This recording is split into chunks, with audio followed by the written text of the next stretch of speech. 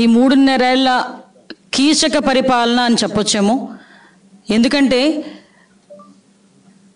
ఓవరాల్గా విశ్వంలోనే సగభాగమైన మహిళలు ఎక్కడ రక్షణగా ఉంటారో అక్కడే బాగుంటుందని అందరికీ తెలుసు. కానీ ఈరోజు ఈ మూడున్నర సంవత్సరాల కాలంలో జగన్మోహన్ రెడ్డి కీచక పరిపాలన చేశాడని చెప్పడానికి ప్రతి ఎనిమిది గంటలకి ఒక అత్యాచారము. లేకపోతే ఈ రోజుకి కూడా సుమారుగా నేషనల్ క్రైమ్ రిపోర్ట్ ప్రకారం చూసుకున్నా కూడా ప్రతిరోజు సుమారుగా ఐదు నుంచి ఆరు సంఘటనలు జరగటం. ఇవన్నీ చూస్తూ ఉంటే కేవలం మనిషి మహిళ మనుగడకే ప్రశ్నార్థకంగా మారే పరిస్థితి ఈరోజు జగన్మోహన్ రెడ్డి పరిపాలన ఉంది. ఎందుకంటే జగన్మోహన్ రెడ్డి పాదయాత్ర చేస్తున్నప్పుడు కూడా ముఖ్యంగా మహిళల్ని టార్గెట్ చేసి ఎమోషనల్గా బ్లాక్మెయిల్ చేసి ఎమోషనల్గా టచ్ చేసి వాళ్ళని ఓవరాల్గా మహిళలందరూ కూడా తన వెంటే ఉన్నారు అనిపించుకోవటానికి అన్నా అని పిలిపించుకొని స్టార్ట్ అయిన దగ్గర నుంచి అతను ముఖ్యమంత్రి సీట్లో కూర్చున్న దగ్గర నుంచి కూడా కేవలం ఏ వర్గం మోసపోయింది అంటే మహిళా వర్గమే మోసపోయింది. అన్ని రకాలుగా కూడా మహిళా వర్గం మోసపోయింది. ముఖ్యంగా రక్షణ విషయంలో చూసుకుంటే పసిబిడ్డ దగ్గర నుంచి న్యాయం చెప్పే మెజిస్ట్రేట్ వరకు కూడా ఈ రోజు రక్షణ లేదు మహిళలకి అంటే ఎంత దిగజారిపోయిందో ఇక్కడ లా అండ్ ఆర్డర్ మనందరం కూడా అర్థం చేసుకోవాలి. యువకుడు వచ్చాడు అన్న అన్నాడు తమ్ముడు అన్నాడు మమ్మల్ని అందరినీ రక్షిస్తాడు మా బతుకులు బాగుపడతాయని అనుకున్న ప్రతి మహిళ కూడా ఈరోజు ఇదేం కర్మ మనకి అని చెప్పి మహిళలందరూ కూడా తలబాదుకునే పరిస్థితి ఈరోజు కనిపిస్తూ ఉంది. ఈరోజు మేమేదో అబద్ధాలు చెప్తున్నాము మేమేదో మాట్లాడుతున్నాము రాజకీయంగా మాట్లాడుతాము అన్నది పక్కన పెట్టుకుంటే నేషనల్ క్రైమ్ రిపోర్ట్ ప్రకారం సాక్షాత్తు పార్లమెంట్లోనే ఒక రిపోర్ట్ చూసుకుంటే ఈ రోజుకి కూడా ఆంధ్రప్రదేశ్ టాప్ వన్లో ఉంది ఈరోజు మహిళల మీద జరుగుతున్న క్రైమ్లో. ఏంటి పరిస్థితి? ఏంటి దుస్థితి? అంటే నూట యాభై ఒక్క సీట్లు ఇచ్చి మహిళల మీద కీచక పర్వం కొనసాగించడానిక ఈరోజు నూట యాభై ఒక్క సీట్లు ఇచ్చారు? ఒక వాలంటీర్ దగ్గర నుంచి మంత్రి వరకు ప్రతి ఒక్కరు కూడా మహిళల్ని కించపరచడంలోని మహిళల్ని ఇబ్బంది పెట్టడంలోని మహిళల తాలూకా అత్యాచారాల విషయంలోని కానీ హత్యల విషయంలోని కానీ కీలక పాత్ర వహించే పరిస్థితి ఈరోజు కనిపిస్తూ ఉంది. ముఖ్యంగా ఒకటే చెప్తున్నానండి. సంపూర్ణ మద్యపాన నిషేధం చేస్తానని చెప్పి మహిళల్ని నమ్మించి మోసం చేసి ఈరోజు సంపూర్ణ మద్యపాన నిషేధం అనేది పక్కన పెట్టి సొంత బ్రాండ్లను బయటకు తీసుకొచ్చి తన సొంత ఖజానా నింపుకోవడానికి ప్రయత్నం చేస్తున్న ఈ జగన్మోహన్ రెడ్డి తాలూకా అక్రమ పాలన అవినీతి పాలనకి కీచక పాలనని అందించాలి అని ఒకే ఒక దృఢ సంకల్పంతో గౌరవ్ లోకేష్ గారు ఈరోజు సాహసోపేతమైన నిర్ణయం తీసుకోవడం జరిగింది. సుమారుగా నాలుగు వందల రోజులు దగ్గర దగ్గర నాలుగు వేల కిలోమీటర్లు ఆయన పాదయాత్ర చేయడానికి నిర్ణయించుకున్నారు. నేను ఒకటే చెప్తున్నా ఇంతకుముందు మోసపోయారు. అటువంటి బూటకపు పాదయాత్ర కాదు ముద్దుల పాదయాత్ర అంతకన్నా కాదు. ఒకటి అక్కడికి వచ్చిన తర్వాత ప్రతి మహిళ కూడా తనను అండగా నిలబడడానికి ఒక అన్నగా నిలబడడానికి తన అన్న బయటకు వస్తున్నాడు అని ఒకే ఒక ఉద్దేశంతో సమస్యని చెప్పుకోవటానికి సమస్య పరిష్కారానికి ఒక వేదికగా ఇవ్వగలం యువగలం అన్నది ఉంటుందని చెప్పి నేను పూర్తిగా భరోసాగా ఉన్నా. ఎందుకంటే ఈ రోజు బయట చూస్తూ ఉంటే పరిస్థితి ఏంటంటే స్వాతంత్ర దినోత్సవం రోజు పొడిచి చంపిన మాట్లాడరు. అతని ఇంటికి కోతవేటు దూరంలో సామూహిక అత్యాచారం జరిగినా మాట్లాడరు. ఎంతోమంది కల్తీ మద్యం తాగి చాలామంది ఆడబిడ్డల తాలూకా తాలిబొట్లు తెగిపోతున్నా నోరు మెదపరు.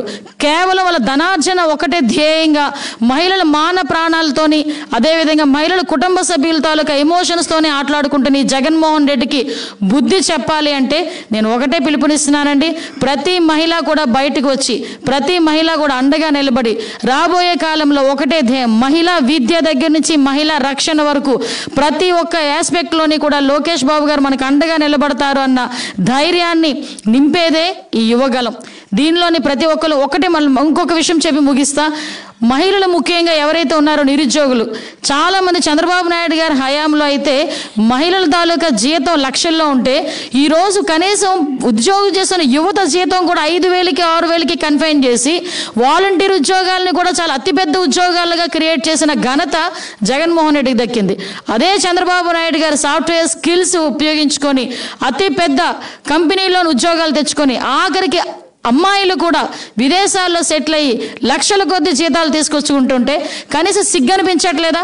నూట యాభై ఒక్క సీట్లు తీసుకొని మహిళల రక్షణ కూడా చే చేత చేతకాని ముఖ్యమంత్రిగా చరిత్రలో నిలబడిపోయే వ్యక్తి జగన్మోహన్ రెడ్డి.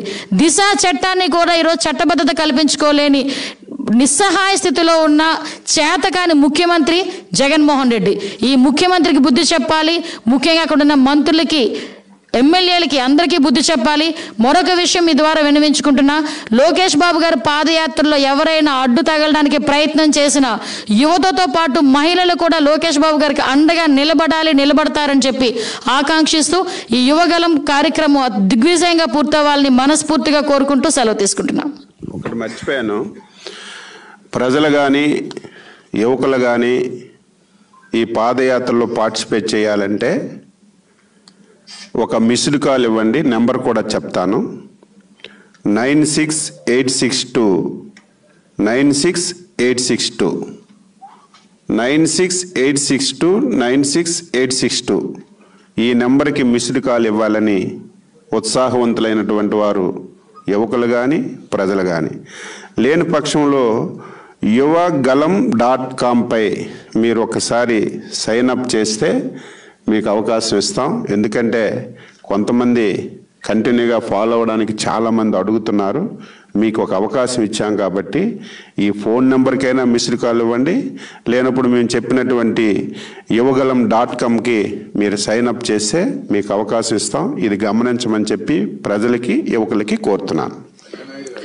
చెప్పండి రామారావు ఒకసారి ఒక రెండు నిమిషాలు రా రాజప్ప గారు మాట. అందరికి కూడా నమస్కారం.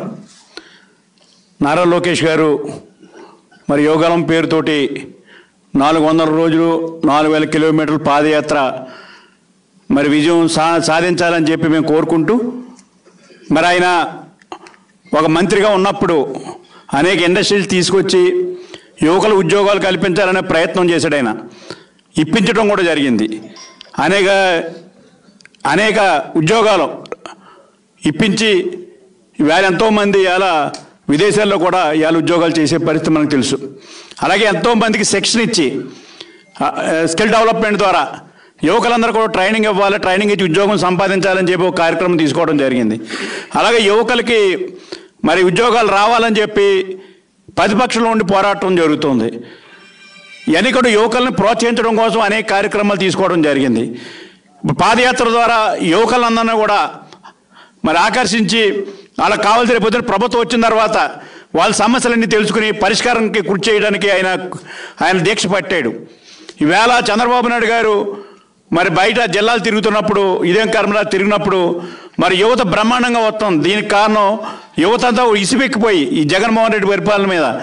ఇదేం కర్మరా బాబు అనే పరిస్థితిలో ఇవాళ అందరూ కూడా మద్దతు పలికి లక్షలాది మంది ఇవాళ మద్దతు పలికే పరిస్థితి ఈరోజు రోజు వచ్చింది. అందుకే ఇవాళ ఖచ్చితంగా ఈ పాదయాత్ర విజయం సాధి సాధిస్తాం మీ అందరూ కూడా అండగా ఉంటాం. యువత పెద్దలు అందరూ కూడా మేము ఆయన అండగా ఉండి మరి ఆయన్ని పాదయాత్ర పూర్తయ్యే వరకు కూడా మేము కృషి చేస్తామని చెప్పి తెలియజేస్తున్నాం.